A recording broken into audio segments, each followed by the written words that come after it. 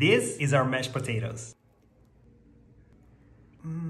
Peel the potatoes. We are using Yukon Gold. Chop them into equally sized large chunks. Put them in a pot. Cover with cold water. Add salt. Bring the water to a boil. Then lower the heat and simmer for about 30 minutes or until fork tender. Then drain the potatoes and let them cool down for 5 minutes to allow the water vapor to escape. Next, mash the potatoes into a Dutch oven. You can use a potato ricer, a potato masher, or my favorite, a rotary vegetable mill. In my opinion, this one makes the fluffiest mashed potato. Add in the butter at room temperature, milk or dairy-free milk milk. You can add more or less based on your preference. Salt, and optionally, a tiny bit of grated nutmeg. Now turn the heat on and stir with a whisk until all the ingredients are well combined. Then when the mashed potato is hot and creamy, after about 5 minutes, turn the heat off and add grated parmesan cheese or dairy-free cheese and stir until the cheese has completely melted. Now transfer the mashed potato into a serving bowl, give it a swirl, piece of butter or dairy-free butter on top, a sprinkle of finely chopped chives, and